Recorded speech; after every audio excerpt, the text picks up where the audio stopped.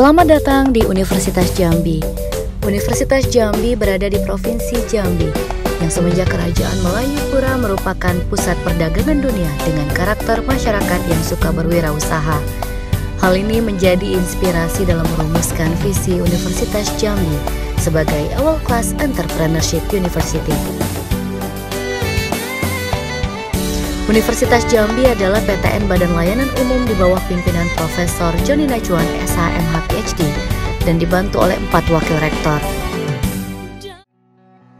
Jumlah mahasiswa Universitas Jambi saat ini 26.742 dan berasal dari 34 provinsi di Indonesia, di mana mereka masuk melalui empat sistem jalur seleksi masuk perguruan tinggi negeri. Universitas yang terbesar di Provinsi Jambi ini sekarang mempunyai tujuh fakultas dan program pasca sarjana dengan 87 program studi di dalamnya. Akademi Perniagaan Jambi yang menjadi cikal bakal Fakultas Ekonomi adalah institusi pertama yang memperkenalkan semangat entrepreneurship kepada mahasiswa. Dan semangat ini kemudian ditularkan kepada Fakultas Keguruan, Hukum, Peternakan, Kedokteran, Pertanian, dan Sains Teknologi melalui berbagai mata kuliah kewirausahaan yang wajib diikuti oleh mahasiswa.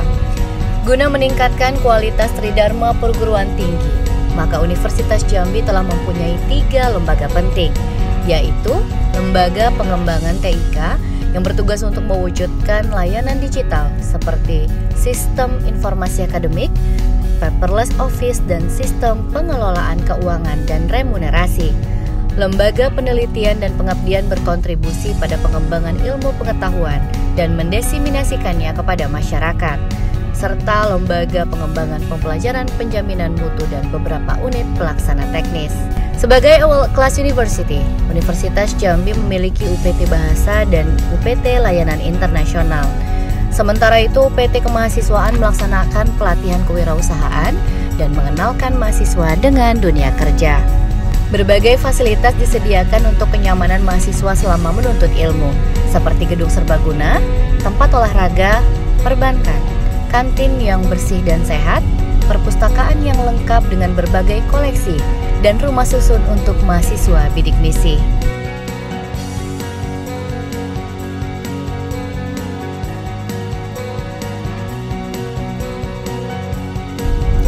Selain itu, untuk memenuhi akses internet mahasiswa, telah disediakan taman internet dan 120 akses poin gratis yang tersebar di seluruh kampus.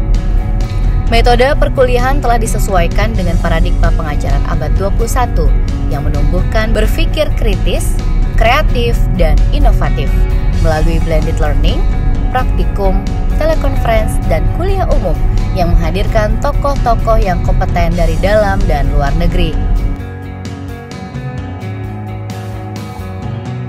Kegiatan penelitian dan pengabdian dipusatkan pengelolaannya pada Lembaga Penelitian dan Pengabdian pada Masyarakat dengan berbagai pusat studi.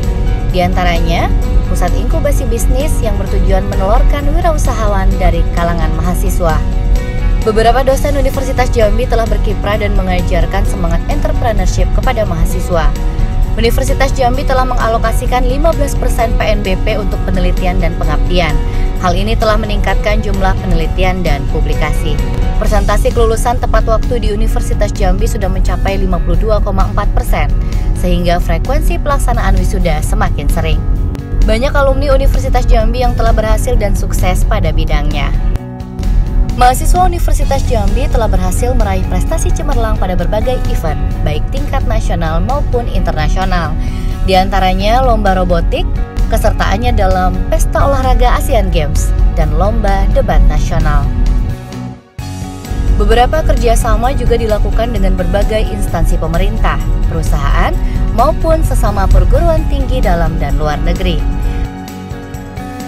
Dalam rangka mewujudkan awal Class Entrepreneurship University pada periode 2025-2029, maka ASEAN Development Bank memberikan bantuan sarana dan prasarana yang modern dan dalam skala besar untuk Universitas Jambi melalui proyek Advanced Knowledge and Skill for Sustainable Growth.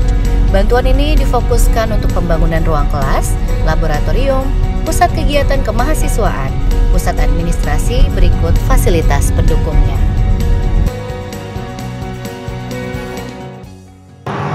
Assalamualaikum warahmatullahi wabarakatuh. Pada saat ini Unja memiliki 87 program studi. Mudah-mudahan dengan akreditasi yang akan dilakukan pada tanggal 12, 13, dan 15 Desember 18 ini Unja akan mendapatkan akreditasi APT-nya juga A. Mohon doa dari masyarakat Jambi dan mudah-mudahan apa yang kita harapkan dikabulkan oleh Allah hendaknya. Amin ya rabbal alamin. Assalamualaikum warahmatullahi wabarakatuh.